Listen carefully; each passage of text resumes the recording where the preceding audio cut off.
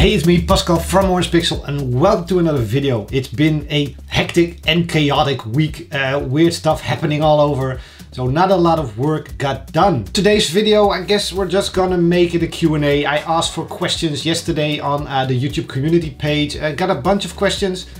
We're gonna dig in, into those. Um, we're gonna do a video after, after the intro. After, right, after the intro.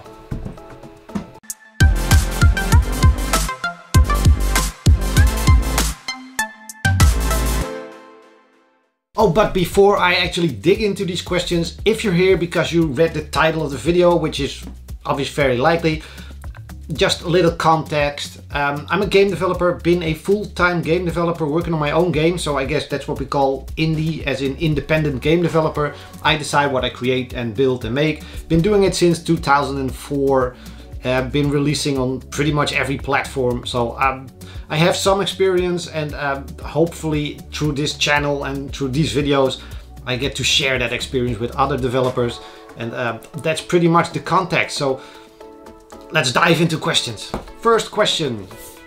Angelica, how do you avoid scope creep and do you have any tips for figuring out what features to cut?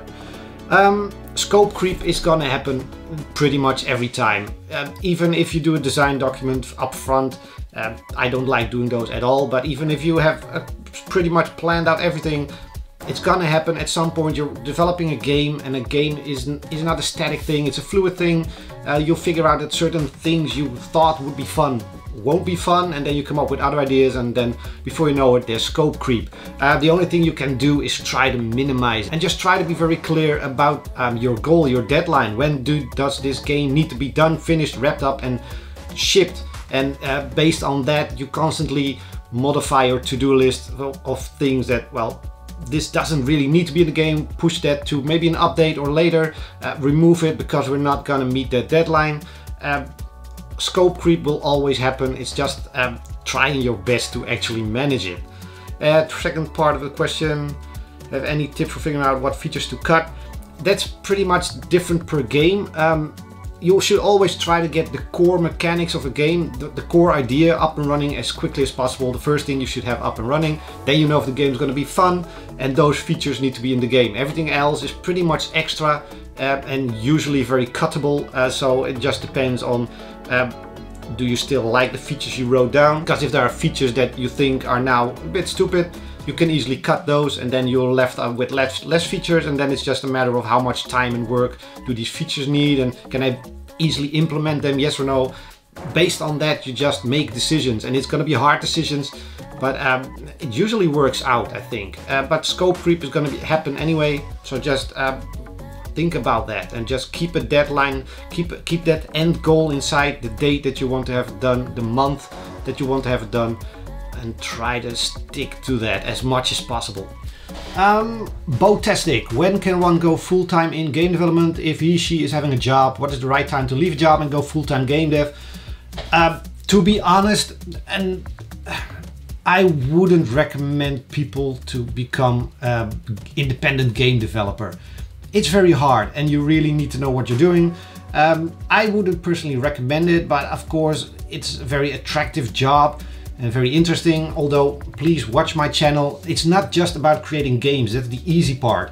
It's about uh, selling those games and um, releasing on multiple platforms and just being out there with marketing and social media and it's a lot of extra work that comes with it. If you are not prepared to do those things and you can't find a partner to do those things, then don't even start to become a independent game developer. Um, to quit a job, I would only do that if I actually had a game released and it does very well. Then I would quit my normal day-to-day -day job if I had one. Um, I wouldn't quit a job before you release the game and actually see how it sells. Because trust me, selling games, most games sell terrible numbers. It's very hard. There's just so many games out there. Um, it's hard, it's difficult. I would simply not recommend doing it. That's that's an honest answer. All right, more positive stuff. Um, one man show. How do you how do you determine the selling price of your games? What goes into working out your costs? Um, I pretty much um, base it on a gut feeling of uh, how big my game looks. Not so much how big it is, but how big it looks to an audience, uh, how much content is there, um, and what is a bit of the average price in the marketplace. And this also differs per platform. Um, Residual working on that now for mobile. Of course, it's released on PC and Switch at 19.99, bit on the high end, but that was together with the publisher. Um, you can't sell a game like that on Android or iOS at 19.99. You can't sell any mobile game at that price point. So obviously uh, there's a cap in the market. I know some publishers on mobile go for 8 or 12 dollars for a game. I don't think I'll do that. Residual is probably gonna sell at 4 or 5.99, something like that. It will be at the high end of my own games uh, because it's just a huge game. It has so much work involved into it and not everybody's gonna buy it at that price. That's okay, but it is a certain value and we can't just ignore a certain value. Um, we're gonna we're gonna screw up the whole ecosystem of game development if we just keep lowering our prices. Um, games require a lot of work, so there's value in there. And figuring out the right price point also on PC, it's just like I said, look at the content, the size of the game, how does it appear to the outside world? Not so much how much did you invest in it or time, but more how does it look and can you put a certain price on it? Um, and then compare it to similar type games on the same platform and then pick a magic number. That's that's pretty much how I do it. It's it's it's not really a science. All right, next question. How do you prevent yourself from doing game clones like Zelda, Mega Man? Um, first of all, I don't think creating clones is a, a bad thing per se. Of course, if you're gonna just do the exact same type of game, it's that's not very creative. And my whole point of being a game developer is the creativity. So I wouldn't do that. But like um, having another Super Mario-like game, but with changes and differences, that happened a lot, and that's pretty much how we got the current type of games that we have now they are very common. They are all built on top of other game and other genres and copies of that, but with a little twist, a little change, and eventually it evolves into new genres. Uh, for me personally, I just like trying out new stuff, combining genres or doing something I haven't done before. Uh, real-time strategy games. Never done one before, but it's slowly moving up my list of something I want to try. Uh, a beat 'em up, been talking about that for a while. Haven't done one myself, but just playing Shredder's Revenge on the Switch, I really want to create one. So I, for me, and, and to keep it interesting for me after all these years, I just like to do different and new things. Regulator City is something completely new. I don't think it really exists a game like this. Well, there are games like this, but they're not real time. They are usually turn-based or they are um, not with a whole team but just solo top-down shooters. I'm trying to mix up some stuff and sometimes it works out pretty well, sometimes it doesn't. But that keeps it interesting for me and creative.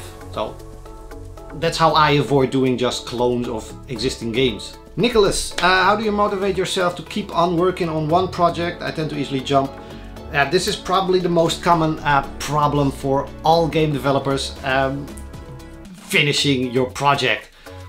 It's great to start a new project and have all these this blank canvas and be able to do everything and add stuff and do things and then you did the thing you wanted to try out and it's up and running but then there's like 90% of the work left. You need to make it, uh, add more content, make it beautiful, make it shine, make it polished, make it make it user friendly, and all that work has to be done. Um, for me, I just like shipping games and completing games um, I guess I just got used to uh, powering through. And also you have to try to mix the, the boring stuff, the boring work, with the fun work. So every now and then I'll have a bad day. Like last Tuesday, I wasn't really being very creative. So I started doing uh, the residual version on mobile and I had to do all the boring interface stuff, add touch controls, things like that. It's not creative, it's not fun, but I wasn't in the mood to do creative stuff anyway. I was a bit distracted by things. Uh, so I worked on that stuff and you just mix those things up and then hopefully you'll reach the final stage of game development and that's releasing a game. And there's nothing more satisfying than just having a game completed and shipping. It's it's that's pretty much should be a goal to work towards. Not just create this type of game but actually ship this type of game. And um, yeah then you just have to force yourself to do the work. That's pretty much it. There's no easy answer push yourself to complete a game. Uh, how do you do market research when you decide on your next game? No idea. I honestly, I know there's a lot of people and a lot of uh, if you read a lot of newsletters and things about this about about game business they will tell you to first check out if players will like this type of game and then make the game that players want that's certainly one way to go and if you're in it to make a lot of money then go for the popular stuff pretty much yeah of course research what's popular now make that and ship it uh, for me that's not very satisfying i'll look into those things but they're not the type of games i want to make I prefer making my own games. So I don't really do market research. Um, pretty much whatever you make, there is gonna be an audience for it. Uh, the problem is finding that audience. Of course, if you make something very popular, there's a huge audience, so it's not gonna be very easy finding that audience. And if you make something that's very niche, that's there's gonna be less people that are interested in it, and finding those will be harder. So selling that game will be harder, but it doesn't mean that the game is less interesting or that there's a lesser interesting market for it because sometimes niche stuff can sell for higher prices.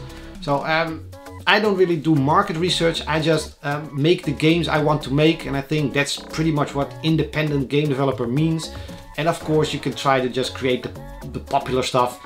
Uh, in that case, Google for the most popular games on Steam or on Switch or whatever and try to make one of those games.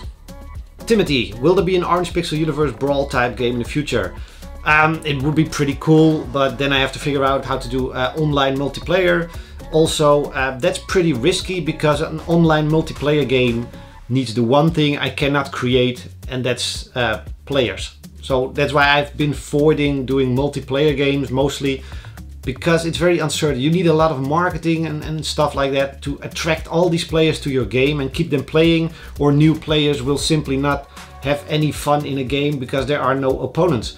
So um, maybe there will be some game where these um, characters all come together and maybe do an adventure type thing. Not sure it's gonna be a brawler type game. Unless I do a beat 'em up and then have all my characters as characters in the game for some reason, but it wouldn't be multiplayer, I guess. TBGB, TB, TBGBU, TBGB. Another dude asking, do you have a target revenue per game? If so, can you share it?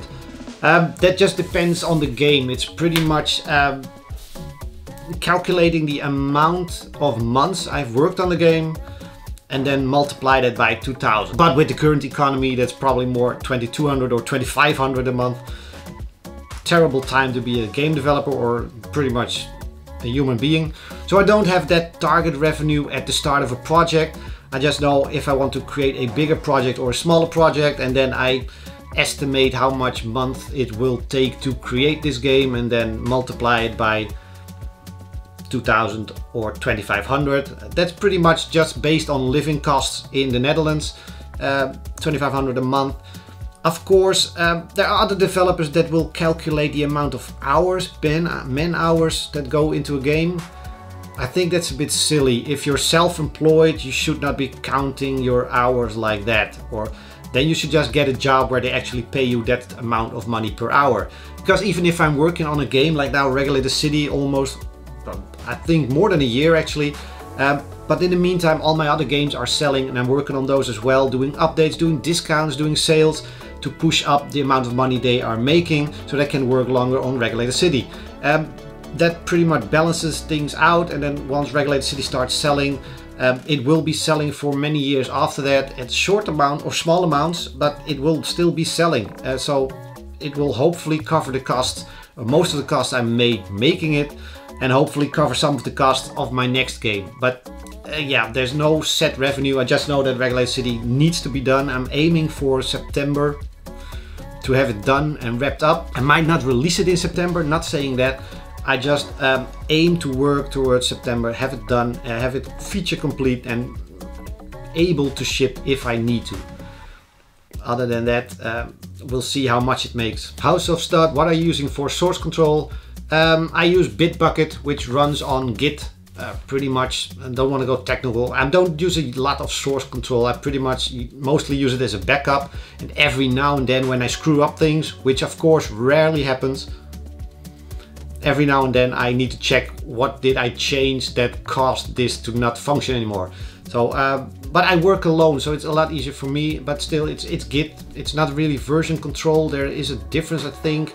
Uh, version control is mostly uh, you lock the code so nobody else can touch that part of the code. You make the changes, you commit it, and then somebody else can uh, use that code. And of course, with Git, you can all work on the code at once, and it somehow magically has to incorporate all those changes. Uh, so I'm not. I don't think I would use Bitbucket or Git if I was working on a project with multiple people. But that's just my opinion. Graham, um, like I've seen him before somewhere. Why do you not release paid DLC expansions for your game? Um, pretty much because um, I'm usually done with my games by the time I release them. Working on a game day in, day out for over a year or longer, sometimes shorter, usually longer. I'm just completely done with those games at that time. Uh, also releasing DLC and expansion packs, that's probably only useful if your game has a, like a big audience and is very popular. My games aren't reaching that amount of popularity. So uh, at some point I just keep pushing updates and fixes for uh, bugs and problems, but I won't be digging back into those things. I'd rather work on a sequel in that case. So uh, just not something I want to do. Also, uh, big companies doing DLCs and expansions, they are big companies. They actually, uh, the main developers are working on the next game but a second team or a third team is working on the DLC and expansion packs. I'm alone, so I have to work on my next game, pretty much. Check, any updates on your 3D games? Wh which 3D games? I don't have 3D games, or is that the question? Um, I want to do a 3D driving game together with Serious Lion on the Discord. Um, we haven't really started on that one. I also want to do a first person shooter like the old days, Wolfenstein, games like that. Just haven't uh, found time for those either. So that's pretty much the update on my 3D games. Sebastian, game prototype in one day video. Um, yeah, been talking about that on the Discord. Just um, committing myself to the couch for like eight hours and creating a game from scratch, from start to finish, prototype at least, probably not a full game, and just recording that into a video. Uh, haven't really found the time to both uh, plan that thing, because I need to know how am I gonna record it and shoot it and what am I gonna do and show and things like that.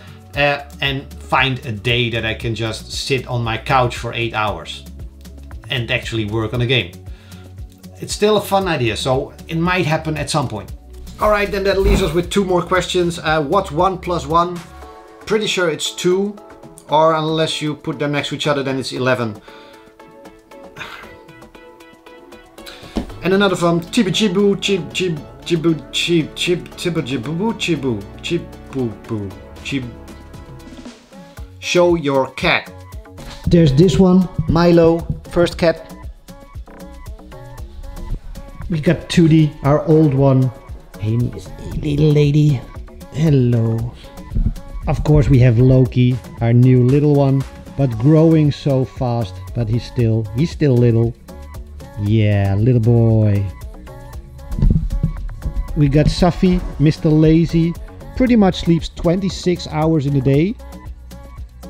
No exaggeration, literally 26 hours in one day. He's awesome. He's the master of Zen. And finally, we have his sister, Nikki, which um, used to be very, uh, very active, but now she's also becoming an old lady. So she's sleeping a lot more as well.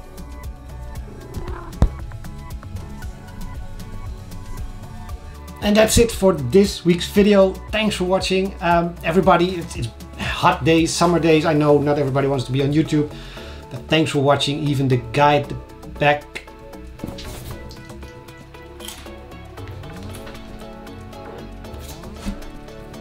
Thanks for watching. See you see you next week, I hope.